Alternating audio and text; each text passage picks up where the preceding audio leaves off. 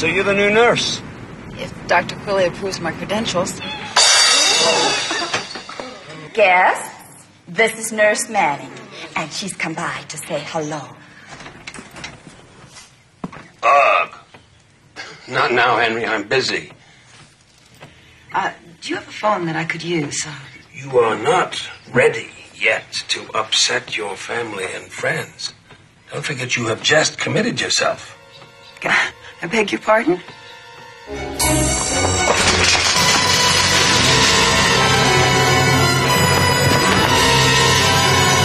Dr. Moore, I am not insane. I came here to work. Now, if Dr. Quilly is dead, who is the man that calls himself Dr. Quilly? Just a guest.